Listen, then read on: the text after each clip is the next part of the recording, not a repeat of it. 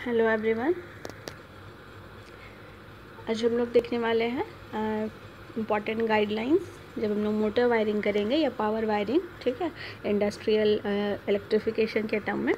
तो यहाँ पर हम लोग क्या क्या इम्पोर्टेंट गाइडलाइंस हमारे लिए दिया गया है, या हम लोग फॉलो कर सकते हैं, यहाँ पर देखेंगे।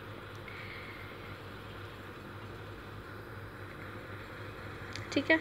तो जैसे आ, बात करें अगर हम इलेक्ट्रिक मोटर्स की ठीक है? तो ये हमारे डेली लाइफ में ठीक है? चाहे वो डोमेस्टिक एप्लीकेशन हो कमर्शियल एप्लीकेशन हो या इंडस्ट्रियल एरिया में अगर हम देखें तो इलेक्ट्रिक मोटर्स का हमारे लाइफ में काफ़ी इम्पोर्टेंस है बहुत ज़्यादा यूज़ है ठीक है? हर एक वो ड्राइव हर एक वो मशीन ठीक है? जहाँ पर मैकेनिकल मोशन का रिक्वायरमेंट होता है तो वहाँ पर हम लोग मोटर्स का एम्प्लॉयमेंट करते हैं। तो ये मोटर्स आपका एसी मोटर हो सकता है, ठीक है, जिसमें हम लोग एसी सप्लाई देंगे, या डीसी मोटर हो सकता है, जिसमें एज ए इनपुट हम लोग डीसी सप्लाई देते हैं। ठीक है तो मोटर आपके एसी या डीसी पावर को रिसीव करेगा एंड मैकेनिकल आउटपुट में ये कन्वर्ट करता है, ठीक है। तो मैकेनिकल आउटपुट या mechanical energy in terms of अगर हम, ठीक है ऐसे टूल्स जहाँ पर आप मोटर को एम्प्लॉय करते हैं like compressors fan tools washing machines ठीक है? तो डिफरेंट मशीन्स या ड्राइव्स जहाँ पर हम मोटर का एम्प्लॉयमेंट करते हैं तो यहाँ पर एज हम मैकेनिकल एनर्जी उनको प्रोवाइड करते हैं तो ये हम मोटर के हेल्प से कर सकते हैं। ठीक है? अब जो आ, मोटर है ठीक है? तो मोटर को अगर हम सपोज़ एसी सप्लाई दे रहे हैं तो एसी सप्लाई आप सिंगल फ़ेज़ दे सकते हैं या थ्री फ़ेज़ दे सकते हैं। ठीक है तो ये जस्ट एक इंट्रोडक्शन पार्ट है कि मोटर का किस तरीके से हमारे लाइफ में इम्पॉर्टेंस है एप्लीकेशंस है, ठीक है? In terms of voltage current वो कैसे ऑपरेट कर रहा है। तो अगर हम एसी फ़ेज़ की बात करें तो हम थ्री फ़ेज़ दे सकते हैं as well as single phase ठीक है? तो जैसे अगर हम अपने फैंस जितने भी डोमेस्टिक अप्लाइंसेज हम लोग सिंगल फ़ेज़ वहाँ पर मोटर यूज़ करेंगे इंडस्ट्रीज़ में बात करें, ठीक है? कमर्शियल एप्लीकेशन के लिए तो ओबियसली हम हाई रेटिंग के साथ थ्री फ़ेज़ में जाते हैं। ठीक है तो थ्री फ़ेज़ जब हम बात करते हैं तो ये हम लोग पहले भी देखे थे आपका थ्री फ़ेज़ जो होता है तीनों एक दूसरे से 120 डिग्री इलेक्ट्रिकली फ़ेज़ शिफ्ट होता है ठीक है? तो हर एक फ़ेज़ आर वाई से 120 डिग्री फेस फेस शिफ्ट होगा ठीक है?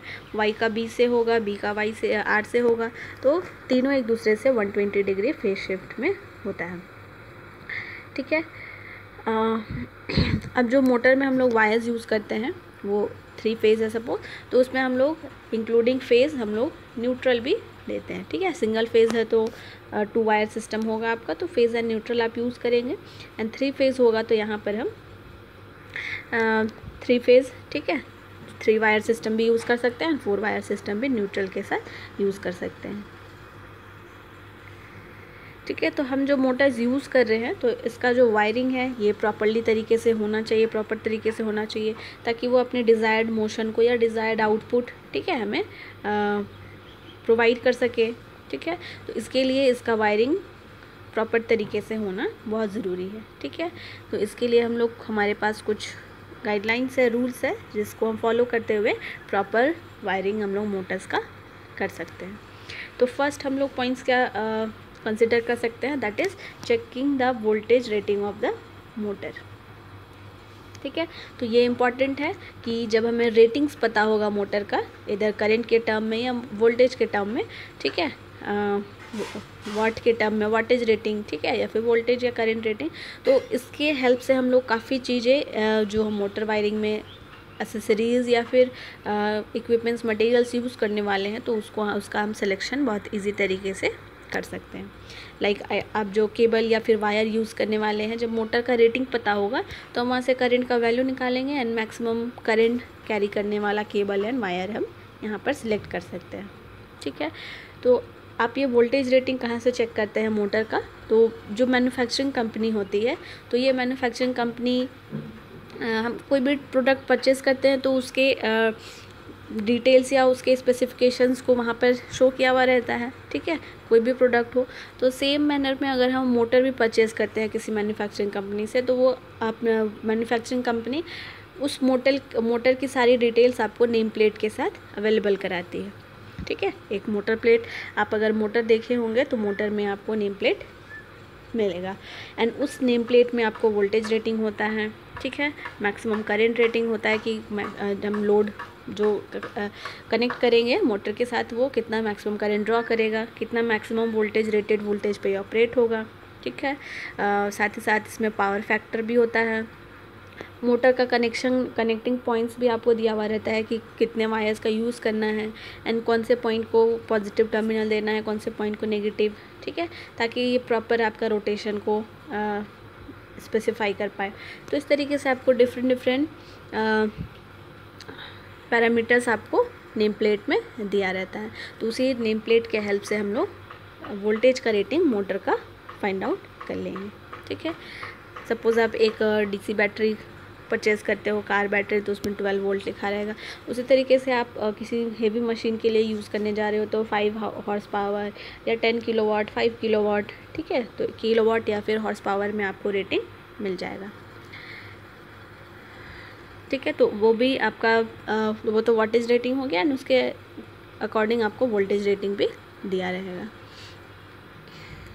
ठीक है नेक्स्ट जो हम लोग डिटरमाइन करेंगे that will be the rotation ठीक है तो रोटेशन यानी कि वो एंटी क्लॉकवाइज रोटेट कर सकता है और क्लॉकवाइज ठीक है दो ही डायरेक्शन है रोटेट करने के लिए सर्कुलर मोशन में। तो ये भी आपका जो नेम प्लेट या फेस प्लेट होगा, ठीक है, वहाँ पर आपको ये डायरेक्शन मेंशन होगा।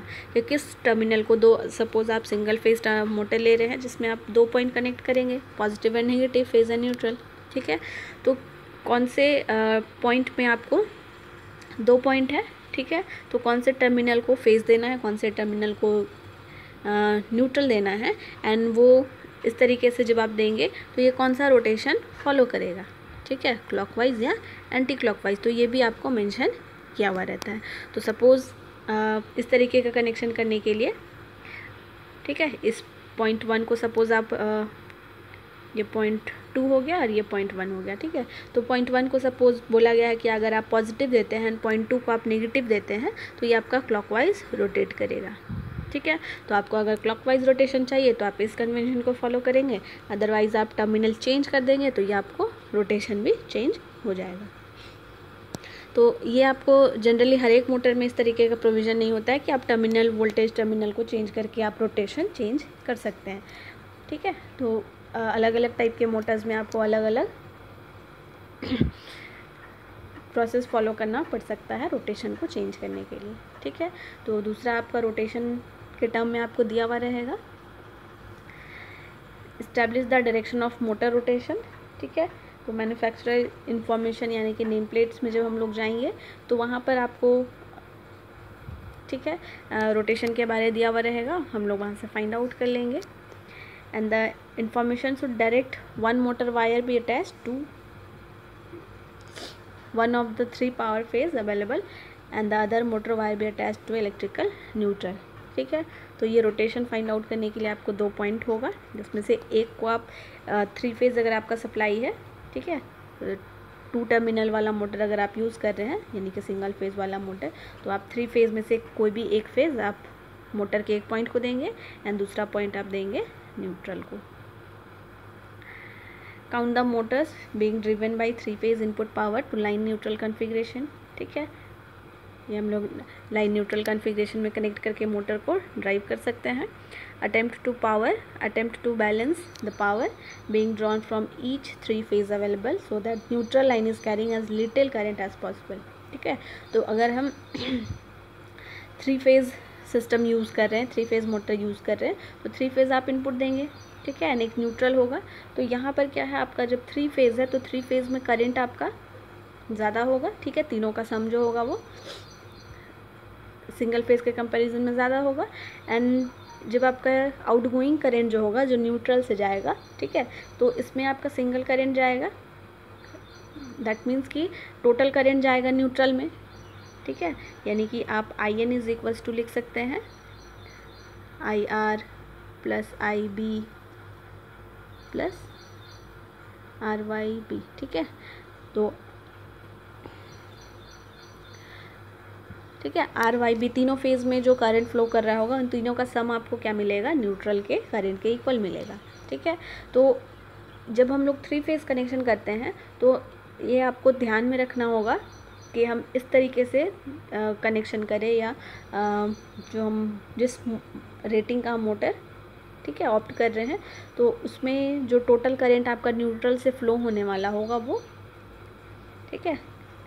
आपका कम से कम हो, ठीक है? ताकि जो भी फॉल्ट या फिर अनबैलेंस का केस आएगा, ठीक है, वो मोटर में उसको, उसके परफॉर्मेंस को अफेक्ट ना करे।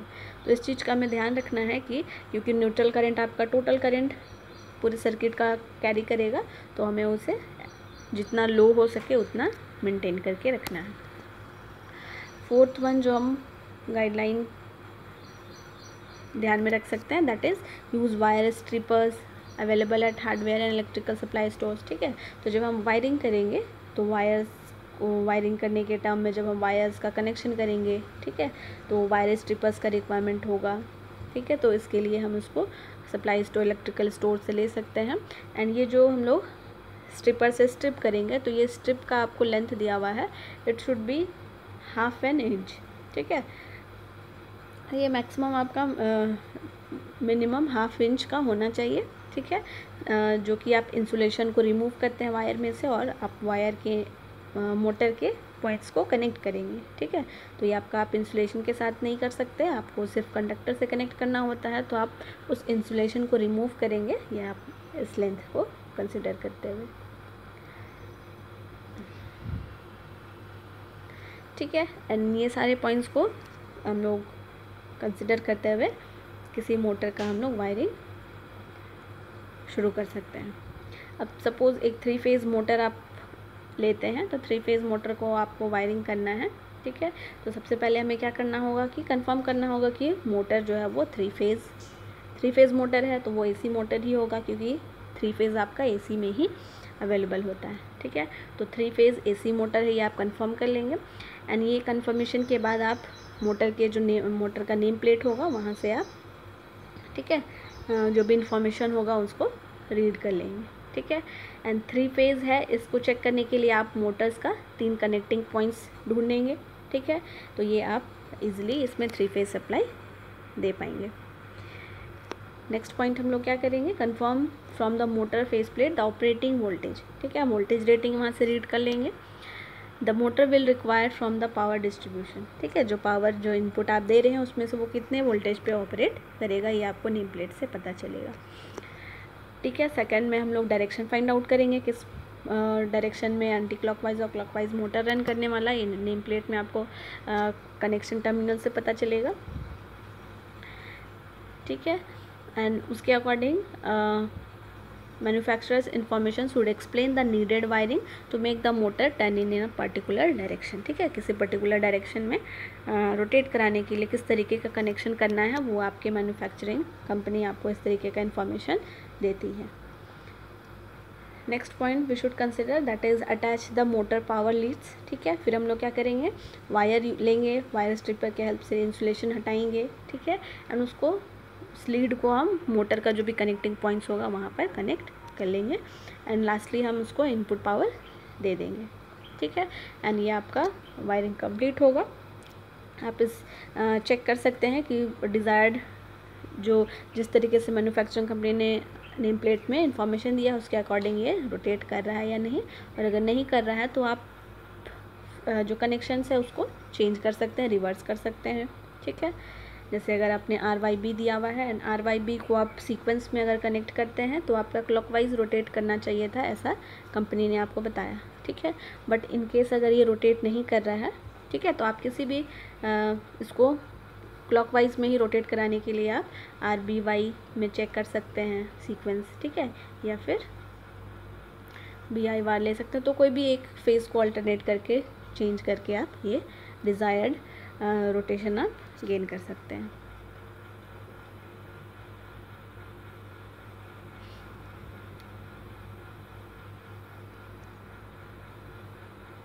ठीक है, यहाँ पर आपको एक ग्राफ दिया हुआ है that is efficiency and full load के वर्सेस में, ठीक है? तो हम लोग जितना भी मोटर्स यूज़ कर सकते यूज़ करते हैं, ठीक है? तो इसका एफिशिएंटी रोटेटिंग पार्ट्स है तो ऑब्वियसली इसका एफिशिएंसी हंड्रेड परसेंट तो नहीं होगा, ठीक है? तो इसका एफिशिएंसी एवरेज अगर देखें तो ये सेवेंटी फाइव परसेंट तक का, ठीक है? होता है, इसका efficiency seventy five to eighty percent ही होता है।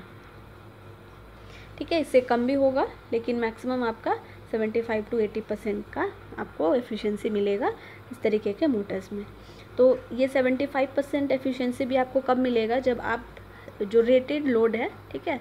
ये रेटेड लोड दैट मीन्स कि मैक्सिमम लोड आप कितने वाट का कनेक्ट कर सकते हैं ये आपको नेम प्लेट में देगा। तो उस रेटेड uh, लोड के अकॉर्डिंग जब आप उसका 75 परसेंट टू 80 परसेंट आप कनेक्ट करते हैं तो आपका एफिशिएंसी 75 टू 80 परसेंट आपको मिलता है। ठीक है? एंड जैसे जैसे आप 50 परसेंट की तरफ़ जाएँगे यानी कि 50 percent of total rated load आप कनेक्ट करेंगे तो ये आपका एफिशिएंसी भी डिक्रीज़ होता हुआ जाएगा। ठीक है? तो आपको गुड एफिशिएंसी अगर चाहिए तो आप रेटेड uh, लोड का मैक्सिमम ठीक है परसेंटेज आप कनेक्ट करेंगे एज अ लोड तो यही चीज़ आपको यहाँ पे ग्राफ में दिखाया गया है। ये आपका 60 टू 80 परसेंट तक का लोड जब आप कनेक्ट करते हैं दैट इज़ ऑप्टिमम लोड हम लोग बोल सकते हैं। ठीक है? ये वाला पार्ट तो ये जब आप 60 to 80 percent of the rated load, full load का 60 टू 80 परसेंट कनेक्ट करते हैं तो ये आपको एफिशिएंसी कुछ इस तरीके का मिलेगा। मैक्सिमम एफिशिएंसी आपको मिलेगा, ठीक है? एक्सेप्ट, एक्सेप्टेबल ऑपरेटिंग रेंज यानी कि 40 to 100 percent of the rated load जब आप कनेक्ट करेंगे, ठीक है? तो एफिशिएंसी आपका थोड़ा सा डिक्रीज़ होगा, ठीक है? क्योंकि आप जो लोड है वो हम लोग कम कर रहे हैं। And twenty to hundred percent one twenty percent यानी कि आप और भी लो लोड की तरफ़ जा रहे हैं तो एफिशिएंसी आपका बहुत ही कम हो जाता है। ठीक है? तो हम आ, कोशिश करेंगे कि सिक्सटी टू एटी परसेंट के रेंज में यानी कि ऑप्टिमम लोड को हम कनेक्ट करें। एंड ये आपका जो ग्राफ दिया हुआ है ये फुल लोड वर्सेस एफिशिएंसी आपको दिया हुआ है। ठीक है? तो अगर आपका जो मोटर है, वो बहुत लो रेटिंग का one two zero two one H का है, ठीक है? तो ये आपको इसका जो एफिशिएंसी होगा, ठीक है? आपको जो कर्व मिलेगा, ये वाला मिलेगा, ठीक है?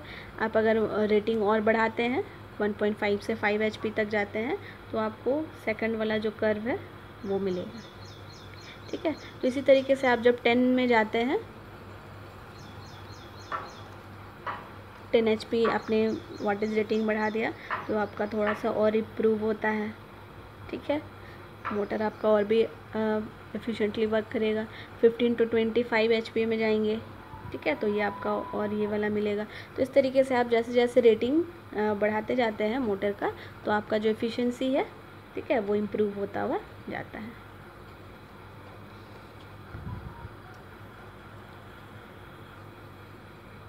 इनपुट पावर मेज़रमेंट मोटर के लिए हम लोग कैसे करते हैं? ठीक है, सबसे पहले तो हम लोग डायरेक्ट रीड मेथड, यानी कि जो आपका